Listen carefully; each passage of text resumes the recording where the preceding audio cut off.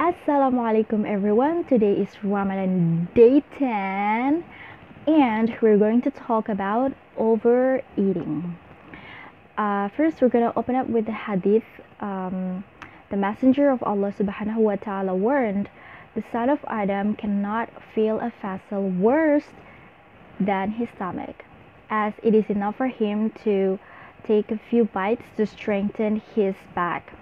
If he cannot do it, then he may fill it with a third of uh, foods, uh, a third of his drinks, and a third of his breath. Uh, this hadith is by uh, At-Tirmizi, number 2380. It's graded as Sahih one. So this hadith talks about to not overeating and you have to fill your stomach with a third of foods a third of uh, drinks and a third of your breath. So it's really important. Uh, overeating is um, is a, is contradicts with the purpose of the fast itself so we have to avoid it. And it is also will lead us to weight gain and um, obesity i'm sure guys you don't want to getting fat while you're fasting right? So do not overeating when fast when iftar. And it is also associated with complications such as diabetic mellitus and heart disease.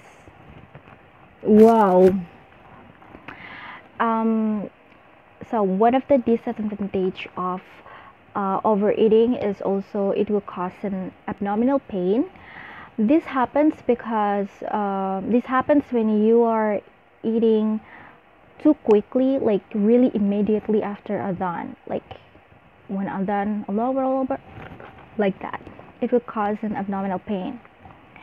Um, so what is the best ways to prevent um, overeating? So um, Hamad Medical Corporation has listed some suggestions for us to avoid overeating. The first one is to plan the iftar meal in advance. So it will be more organized and it will prevent you guys from the overeating itself. It's way too light. Okay, the second one is do not skip your sahur because when you skip sahur, your fast will be much longer than usual.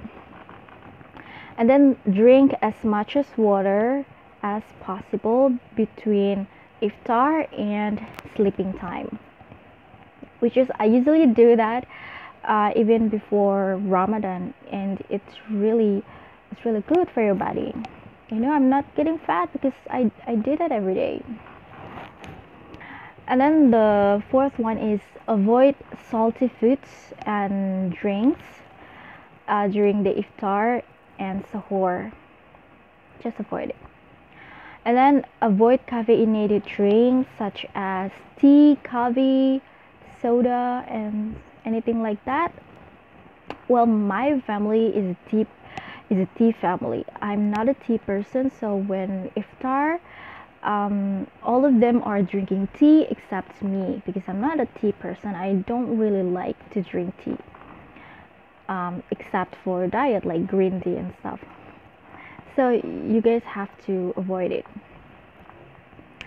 Um, instead you can drink water as i said.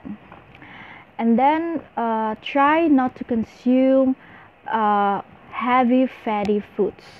For example like white bread rice white rice. I think you can you can eat it but not too much and then avoid refined carbohydrate carbohydrate carbohydrates and sugar uh, because it will increase your blood sugar. This is really important for old people. Avoid that. The last one is break your fast with a simple meal for example uh, three fresh dates or dried dates or even a sip of water. There's a hadith about it so that is it and i'll see you guys on my next video. Bye